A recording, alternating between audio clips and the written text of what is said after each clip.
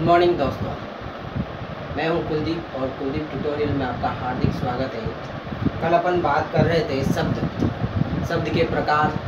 आज अपन शब्द के प्रकार के टॉपिक को आगे बढ़ाएँगे और रचना के आधार पर शब्द कितने प्रकार के होते हैं, अर्थ के आधार पर शब्द कितने प्रकार के होते हैं। कल प्रीवियस क्लास में अपन ने पढ़ा था तत्सम, तद्भव, देशज, विदेशी शब्द, अरबी, पुर्तगाली, फ्रांसीसी, ये सारे शब्द पढ़े थे।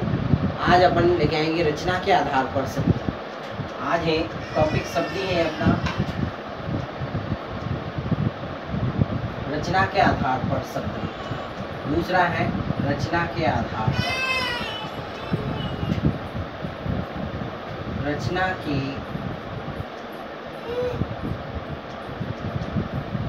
आधार पर, रचना के आधार पर शब्द के प्रकार शब्द के प्रकार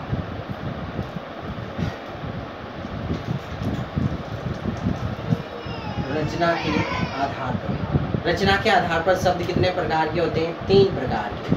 मूल शब्द या रूढ़ शब्द, यौगिक शब्द, और तीसरा है योग रूढ़। तो अपन बात करेंगे तीन। पहला रहेगा मूल या रूढ़ शब्द। दूसरा क्या रहेगा? यौगिक, ये एक नंबर। दूसरा रहेगा यौगिक।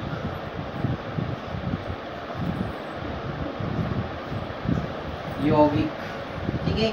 और तीसरा अपने रहेगा योग रूढ़ तीसरा क्या रहेगा? योग रूढ़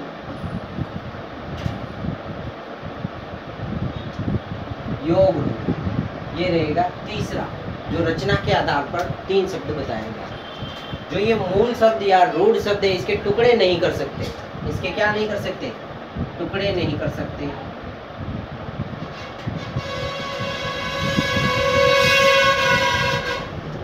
टुकड़े नहीं कर सकते। जो मूल शब्द होगा, उसके टुकड़े नहीं कर सकते। संधि, समास, उपसर्ग, प्रत्यय के नियम नहीं लगते हैं इसके अंदर।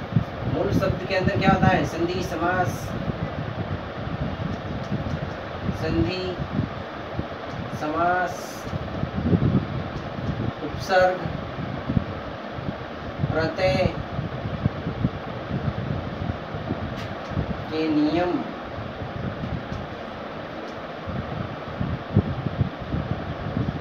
नहीं लगते जो मूल शब्द होगा, उसके अंदर संधि, समास, उपसर्ग, प्रत्यय का कोई भी नियम लागू नहीं होता है और इसके टुकड़े भी नहीं कर सकते। जैसे कि उदाहरण देख लो इसका। शेर शेर के अगर टुकड़े करेंगे तो क्या रहेगा? शेर तो कोई मतलब नहीं टुकड़े नहीं होंगे। गाय। बेल। इस प्रकार के इनके टुकड़े नहीं कर सकते और इसके अंदर संधि इसके अंदर कोई संधि भी नहीं हुई है, ग, आ, ये गाय, कोई संधि नहीं है, कोई उत्सर्ग नहीं है, कोई प्रत्यय भी नहीं लगा हुआ है। तो ये क्या है? मूल शब्द है। दूसरा है अपने यौगिक। यौगिक में क्या होगा? जैसा कि नाम से ही स्पष्ट है, यौगिक यानी कि योग प्लस टुकड़े किए जा सकते हैं इसके अंदर। इसमें एक तो योग किया जा सकता है। योग प्लस टुकड़े। टुकड़े कर सकते हैं इसके अंदर। योग भी होगा इसके अंदर और टुकड़े भी किए जा सकते हैं और इसमें संधि सम, समास उपसर्ग प्रत्यय आदि लगते हैं। संधि समास उपसर्ग। संधि समास उपसर्ग प्रत्यय लगते हैं। यौगिक जो शब्द बनेगा, यौगिक दो शब्दों से मिलकर बनेगा, उपसर्ग से बनेगा, प्रत्यय से बनेगा, संधि से बनेगा, समास से बनेगा तो इसके अंदर इन सब का प्रयोग होगा। तो वो क्या कहलाएँगे? यौगिक शब्द कहलाएँगे। जैसे कि संधि वाला देख लो। विद्याधन आलय, विद्यालय। ये शब्द संधि से बना है। विद्याधन आलय, विद्यालय। समास का देख लो। रसोई घर रसोई के लिए घर रसोई घर ठीक है ना? ये हो गया समास। उपसर्ग भी देख लो, विजय। उपसर्ग से शब्द क्या बनेगा? विजय। जय के अंदर वी उपसर्ग लग गया तो क्या बन गया? विजय। प्रत्यय प्रत्यय का भी देख लेते हैं। सुंदरता। ता प्रत्यय लग गया इसके अंदर। क्या लग गया? ता प्रत्यय पाठशाला, सहपाठी, इस प्रकार इसके कई उदाहरण हैं, ठीक है? अब बात करते हैं योग रूढ़ शब्द की। योग रूढ़ में क्या होता है कि योग होता है। इसके अंदर भी क्या होगा? योग होता है। योग होता है। योग रूढ़ योग रूढ़ जो शब्द होंगे उनके अंदर एक तो योग होगा, दूसरा इनका अर्थ रूढ़ हो जाता है। इनका जो अर्थ होगा वो रूढ़ हो जाता है। इनका अर्थ रूढ़ हो जाता है।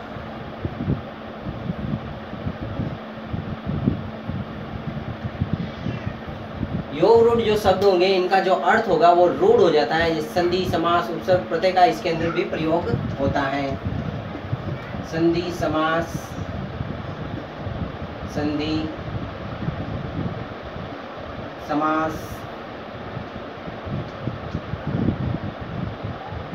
संधि समास उपसर्ग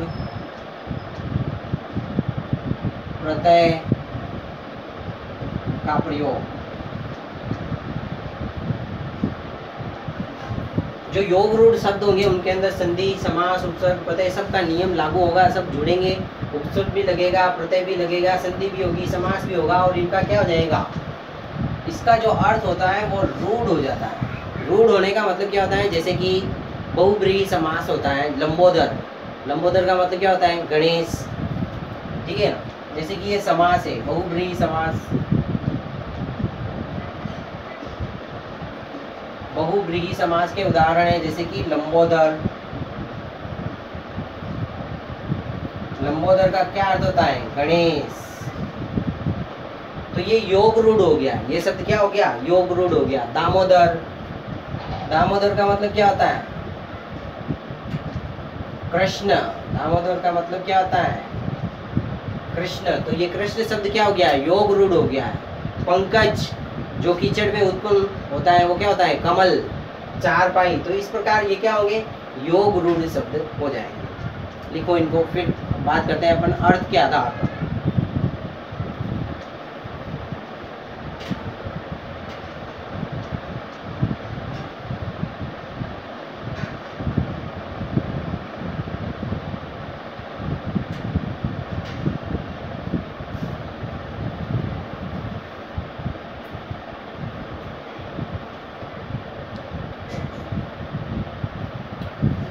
बात करते हैं।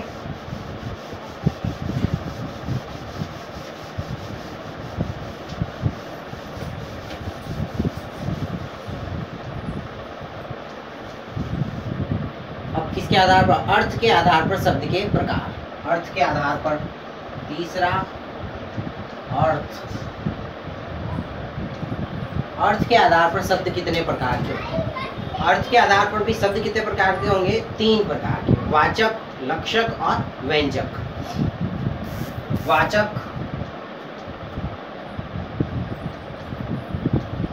वाचक, लक्षक और व्यंजक। तीसरा क्या है? व्यंजक।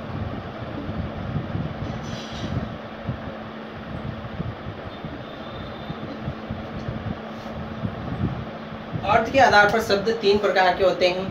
वाचक शब्द लक्षक और व्यंजक। वाचक जो होता है, इसके अंदर क्या होता है? मुख्य अर्थ। वाक्य का मुख्य अर्थ अभिधेयार्थ अर्थ होता है। और लक्ष्य के अंदर एक लक्ष्यार्थक लक्ष्य से बाधित, संबंधित अर्थ यानी रूढ़ी प्रयोजन से संबंधित लोकोक्ति या मुहावरे टाइप के लक्ष्यार्थ में होंगे। और व्यंग्यार्थ में क्या होगा? व्यंग्य की तरह होगा। तो अपन लिखते हैं। इसका अर्थ क्या होगा? वाचक मुख्यार्थ। मुख्यार्थ या वाच्यार्थ, इसको अपन वाच्यार्थ भी कह सकते हैं। मुख्यार्थ या वाच्यार्थ या अभिधेयार्थ अभिधेयार्थ।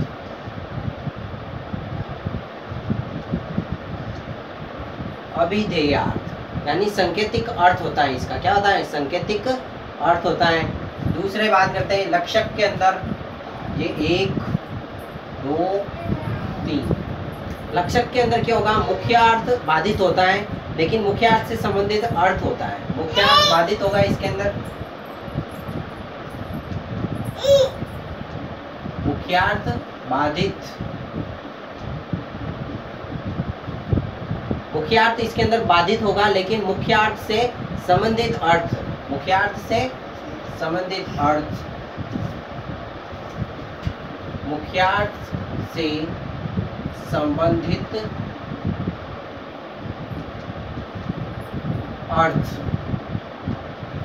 जो लक्षक के अंदर होगा, वो मुख्यार्थ बाधित होगा, लेकिन लेकिन क्या होगा? मुख्यार्थ से बाधित, लेकिन मुख्यार्थ से संबंधित। लेकिन मुख्यार्थ से संबंधित अर्थ रूढ़ी प्रयोजन, रूढ़ी रूढ़ी या प्रयोजन? प्रयोजन के अर्थ में काम में लिया जाएगा ठीक है? और इसके अंदर क्या होगा? ये लोकोक्ति या मुहावरे के जैसा होगा। लोकोक्ति या मुहावरे। लोकोक्ति या मुहावरे। और जो इसके अंदर जो शब्द शक्ति होगी, वो क्या होगी? शब्द शक्ति क्या कहलाएगी? इधर लिख देते हैं, नीचे लिख देता हूँ मैं। शब्द शक्ति।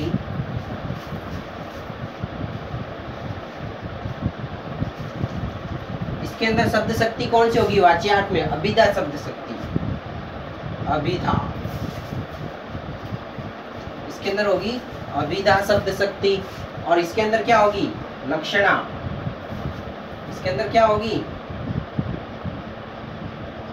लक्षणा। ठीक है, अब इसकी बात करते हैं व्यंजक की। इसमें क्या होता है, मुख्यार्थ बाधित होता है और मुख्यार्थ से पूरी तरह छोड़ा जाता है। मुख्यार्थ इसके अंदर पूरी तरह बाधित। मुख्यार्थ इसमें भी बाधित होगा। मुख्यार्थ बाधित। व्यंजक के अंदर भी क्या हो गया, मुख्यार्थ जो मुख्य अर्थ होगा, शब्द का, वो तो होगा बाधित। और मुख्यार्थ से पूरी तरह छोड़ा जाता है। और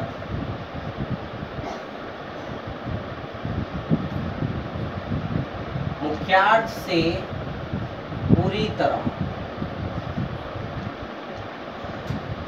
छोड़ा जाता है।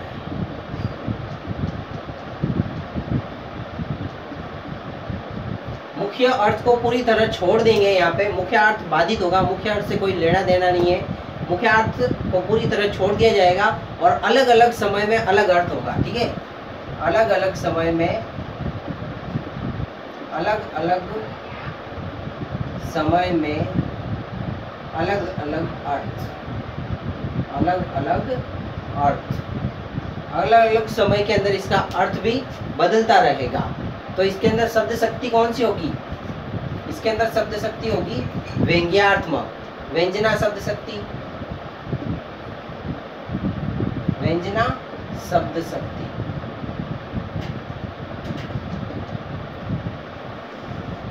इसके अंदर होगी व्यंजना, इसके अंदर लक्षणा और इसके अंदर अभिधा शब्द शक्ति होगी, ठीक है? वापस अपन बात करते हैं, जैसे इसके एग्ज़ाम्पल लेके देखते हैं अभिधा का।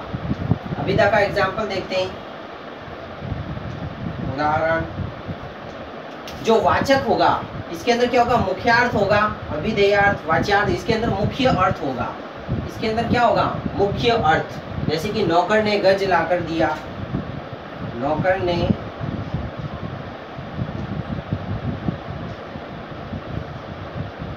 गज लाकर दिया। नौकर ने गज लाकर दिया, यानी कि इसका मुख्य अर्थ ही निकल रहा है। गज का मतलब क्या है? नौकर और गज। नौकर ने नौकर ने गज लाकर दिया, यानी कि हाथी लेके आया। है ना? इसमें मुख्य अर्थ क्या है? नौकर ने गज लाकर दिया। दूसरा देखो, इससे समझ में नहीं आया तो। एक और एग्ज़ाम्पल देख लो, आपको समझ में आ जाएगा। राजा ने सैनिक से गज मंगवाया। राजा ने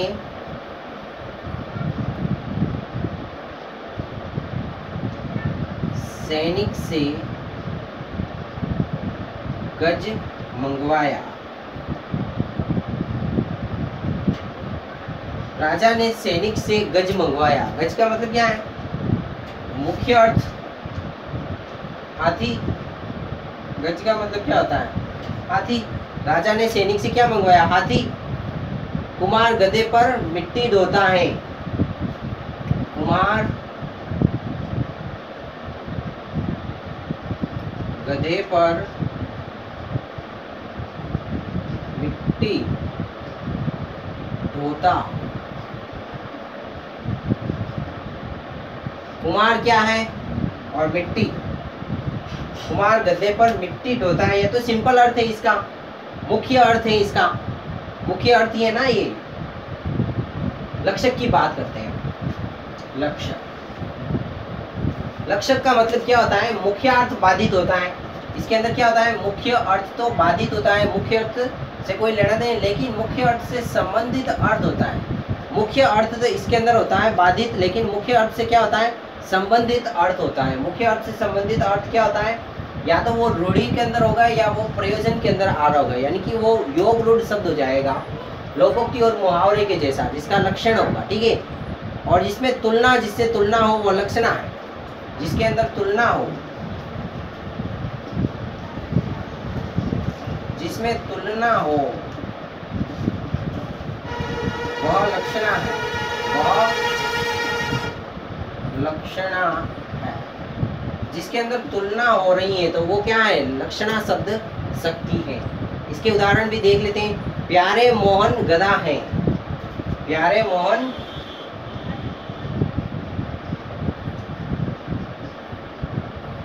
प्यारे मोहन गदा है। गदा क्या है? उसकी उपमा है। प्यारे जो मोहन है गधा को क्या उसकी तुलना की गई है? मोहन की तुलना किससे की गई है? गधे से तो इसके अंदर लक्षणा शब्द शक्ति। शिवाजी शेर है। शिवाजी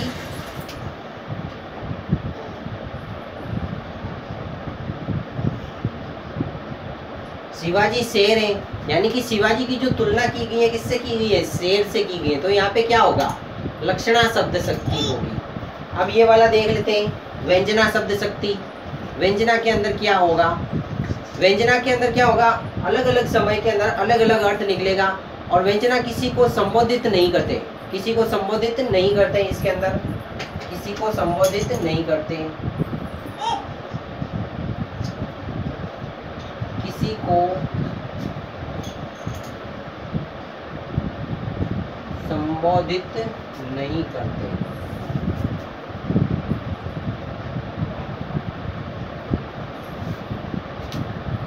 व्यंजक, जो व्यंजक होगा, व्यंजना शब्द शक्ति के अंदर किसी को संबोधित नहीं करते। जैसे शाम हो गई, इसका एग्ज़ाम्पल क्या होगा? शाम हो गई। शाम हो गई। मुख्य अर्थ तो बाधित है और मुख्य अर्थ से पूरी तरह छोड़ दिया जाता है। शाम हो गई। शाम हो गई का मतलब यहाँ पे शाम से नहीं है। शाम हो गई, यानी कि बहुत लेट हो गया है। शाम हो गया, इसका मतलब। चार बज गए।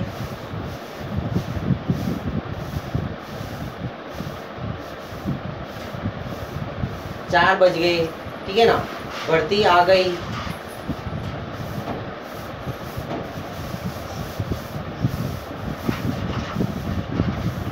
बढ़ती आ गई का मतलब क्या होगा कि भाई, अब आलस छोड़ दो और पढ़ाई के अंदर जुट जाओ, ठीक है? आज आज के लिए इतना ही काफ़ी है।